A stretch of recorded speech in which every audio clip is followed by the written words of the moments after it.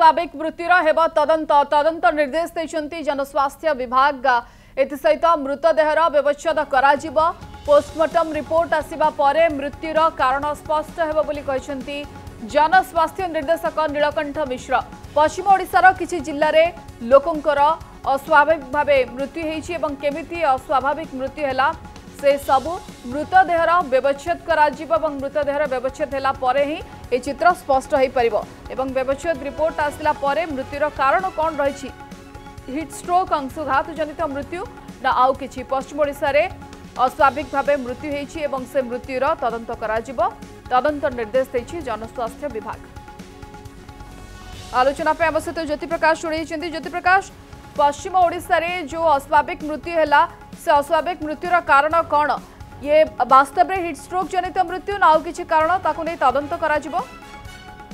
ଦେଖନ୍ତୁ ଆପଣ ଜାଣିଥିବେ ଯେ ପଶ୍ଚିମ ଓଡ଼ିଶାରେ ବର୍ତ୍ତମାନ ଆକାଶରୁ ନିଆଁ ବର୍ଷ ବର୍ଷୁଛି ଏବଂ ଆହୁରି ସାତ ଆଠ ଦିନ ମଧ୍ୟ ରହିବ ବୋଲି ପାଣିପାଗ ବିଜ୍ଞାନ କେନ୍ଦ୍ର ମଧ୍ୟ ଆକଳନ କରିସାରିଛି ଏବଂ ଗତକାଲି ଆପଣ ଦେଖିବେ ସବୁଠୁ ଯୋଉ ଅଛି ରାଉରକେଲା ହସ୍ପିଟାଲରେ ଯେ ବାର ଜଣଙ୍କର ମୃତ୍ୟୁ ହେଇଛି ତା ସହିତ ଅନେକ ମଧ୍ୟ ହସ୍ପିଟାଲରେ ଆଡମିସନ ହେଇଛନ୍ତି ଏବଂ ଯାହା ପ୍ରାଥମିକ ସୂଚନା ଆସୁଛି ଯେ ଅଂଶୁଘାତ ଜନିତ ଇଏ ମୃତ୍ୟୁ ଏବଂ ଗତକାଲି ମଧ୍ୟ ଏସ୍ଆର୍ସି ସତ୍ୟବ୍ରତ ସାହୁ ଜିଲ୍ଲାପାଳଙ୍କ ସହିତ କଥା ହେଇଥିଲେ ଘଟଣାସ୍ଥଳକୁ ମଧ୍ୟ ଏଡିଏମ୍କୁ ପଠାଇଥିଲେ ଏବଂ ତାଙ୍କୁ କୁହାଯାଇଥିଲା ଯେ ତଦନ୍ତ କରି ହସ୍ପିଟାଲ କର୍ତ୍ତୃପକ୍ଷଙ୍କ ସହିତ ଆଲୋଚନା କରି ତୁରନ୍ତ ଏସ୍ଆର୍ସିଙ୍କ କାର୍ଯ୍ୟାଳୟକୁ ସେ ରିପୋର୍ଟ ପଠାଇବା ପାଇଁ ତା ସହିତ ଏବେ ଆଉ ଏକ ଡେଭଲପମେଣ୍ଟ ହେଇଛି ସ୍ୱାସ୍ଥ୍ୟ ବିଭାଗ ପକ୍ଷରୁ ମଧ୍ୟ ଅନୁସନ୍ଧାନ ଆରମ୍ଭ କରାଗଲାଣି ସୁନ୍ଦରଗଡ଼ର ଯିଏ ଅଛନ୍ତି ସିଡିଏମ୍ଓ ତାଙ୍କୁ ମଧ୍ୟ ନିର୍ଦ୍ଦେଶ ଦିଆଯାଇଛି ସେ ଯାଇକି ଏ ଯେଉଁ ଆଇଜିଏଚ୍ ହସ୍ପିଟାଲରେ ପହଞ୍ଚିବା ପାଇଁ ତା ସହିତ ଯେଉଁମାନଙ୍କର ମୃତ୍ୟୁ ହେଇଛି ତାଙ୍କର ମଧ୍ୟ ପୋଷ୍ଟମର୍ଟମ ଆଜି କରାଯିବ ତାପରେ ହସ୍ପିଟାଲର ଯିଏ ସୁପରିଟେଣ୍ଡେଣ୍ଟ ଅଛନ୍ତି ତା ସହିତ କର୍ତ୍ତୃପକ୍ଷ ଅଛନ୍ତି ତାଙ୍କ ସହିତ ଆଲୋଚନା କରିବେ ଯେ ପ୍ରକୃତରେ ସେମାନେ କାହିଁକି ଆଡମିସନ ହେଇଥିଲେ ଏବଂ ତାଙ୍କୁ କିଭଳି ଚିକିତ୍ସା କରାଯାଉଥିଲା ଯେ ପ୍ରକୃତରେ ଅଂଶୁଘାତ ଜନିତ ମୃତ୍ୟୁ ନା ଅନ୍ୟ କିଛି କାରଣ ରହିଛି ତେଣୁ ଜନସ୍ୱାସ୍ଥ୍ୟ ବିଭାଗ ତା ଉପରେ ଲଗାତାର ଭାବେ ନଜର ରଖିଛନ୍ତି ଏବଂ ସୁନ୍ଦରଗଡ଼ରୁ ଏକ ଟିମ୍ ମଧ୍ୟ ଯାଇପାରିଛନ୍ତି ଆବଶ୍ୟକ ପଡ଼ିଲେ ଭୁବନେଶ୍ୱରରୁ ଏକ ଟିମ୍ ମଧ୍ୟ ଘଟଣାସ୍ଥଳକୁ ମଧ୍ୟ ଯିବେ ଯେହେତୁ ଆପଣ ଜାଣିଥିବେ ପଶ୍ଚିମ ଓଡ଼ିଶାରେ ଗୋଟିଏ ଦିନରେ ପାଖାପାଖି ଚାଳିଶରୁ ଅଧିକ ଜୀବନ ଯାଇଛି ଅଂଶୁଘାତ ଜନିତ ନା ଅନ୍ୟ କୌଣସି କାରଣ ସେ ନେଇ ମଧ୍ୟ ଏସ୍ଆର୍ଟିଙ୍କ କାର୍ଯ୍ୟାଳୟରୁ ସ୍ପଷ୍ଟ କରାଯାଇ ନାହିଁ ଏବଂ ରାଉରକେଲା ଯେଉଁ ବାର ଜଣ ମୃତ୍ୟୁ ହେଇଛି शासित मृत्यु मृत्यु को नहीं तदंत कर सबकि निर्भर पोस्टमर्टम रिपोर्ट आसला बहुत बहुत धन्यवाद आम सहित ज्योति प्रकाश जोड़ी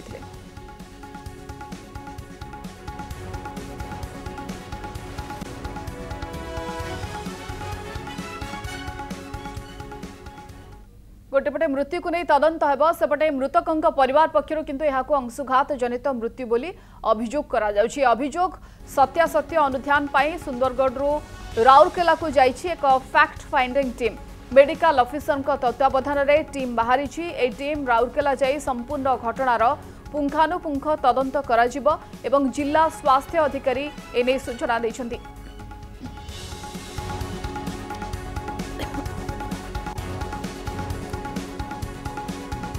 गोटेपटे अस्वाभाविक मृत्युर तदंत हो जनस्वास्थ्य विभाग एने निर्देश देती सेपटे कोभली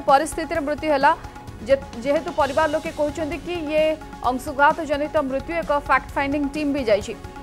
अधिक आलोचना करने आम सहित देवाशिष जोड़ Debashish fact finding team Sundargarh Rourkela को जाए कारण राउरकेल सबुठ अधिक अंशुघात जनित मृत्यु संख्या देखा मिली এবং फैक्ट ফ্যাক্ট टीम कौ কেউ কেউ জায়গাকে যাবে কাহা সহ আলোচনা করবে যে मृतक थे সে পরিবার লোক হসপিটাল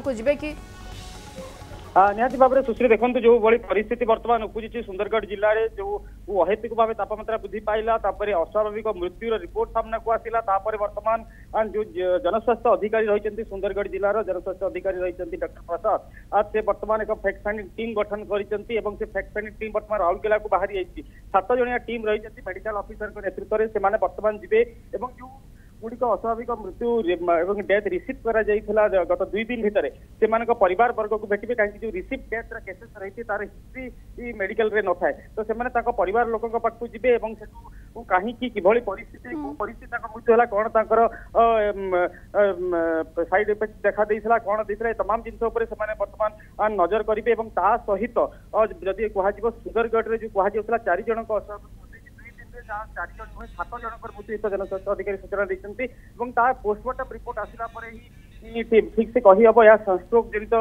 ମୃତ୍ୟୁ ନା ଆଉ ତାଙ୍କର ଅନ୍ୟ କେସେସରେ ତାଙ୍କ ମୃତ୍ୟୁ ହେଇଛି ତ ନିହାତି ଭାବରେ କିନ୍ତୁ ଯଦି ଆମେ କହିବା ତାହେଲେ ସୁନ୍ଦରଗଡ଼ରେ ପରିସ୍ଥିତି ଅଣାୟତ ହେଇଛି ଏବଂ ଯେଉଁ ଅହେତୁକ ତାପମାତ୍ରା ବୃଦ୍ଧି ପାଇଛି ତା ପାଇଁ ଏଭଳି ପରିସ୍ଥିତି ଦେଖାଯାଉଛି ଅନ୍ୟପଟେ ଏ ଯଦି ଆମେ କହିବା ତାହେଲେ ଏ ରୁମ୍ ସଂଖ୍ୟାକୁ ବଢ଼ାଯାଇଛି କାହିଁକି ସଂଷ୍ଟ୍ରୋକ କେସେସରେ ମେଜର ଏସି ଏସିର ଆବଶ୍ୟକତା ପଡ଼ିଥାଏ ଏ ତ ଏସି ରୁମ୍ର କେବିନ୍ ସଂଖ୍ୟା ବଢ଼ାଯାଇଛି ରାଉରକେଲା ଏବଂ ସୁନ୍ଦରଗଡ଼ରେ ତା ସହିତ ସିଏସ୍ସି ଏବଂ ପିଏସ୍ସି ମାନଙ୍କର ମଧ୍ୟ କିଭଳି ଅଧିକ ନଜର ଦିଆଯିବ ତା ଉପରେ ନଜର ରଖାଯାଇଛି ଏହା ସହିତ ଓଆରଏସ୍ ଏବଂ ଯାହା ଓଆରଏସ୍ ଏବଂ ଅଧିକ ପରିମାଣରେ ଯେଉଁଗୁଡ଼ିକ ଏସି ରୁମ୍ ରହିଛି ସେ ରୁମ୍ ଗୁଡ଼ିକୁ ମଧ୍ୟ ମହଜୁଦ ରଖାଯାଉଛି ପ୍ରସ୍ତୁତ ରଖାଯାଉଛି ବହୁତ ବହୁତ ଧନ୍ୟବାଦ ଆମ ସହିତ ଦେବାଶିଷ ଯୋଡ଼ି ହେଇଥିଲେ ଅଧିକ ଆଲୋଚନା ପାଇଁ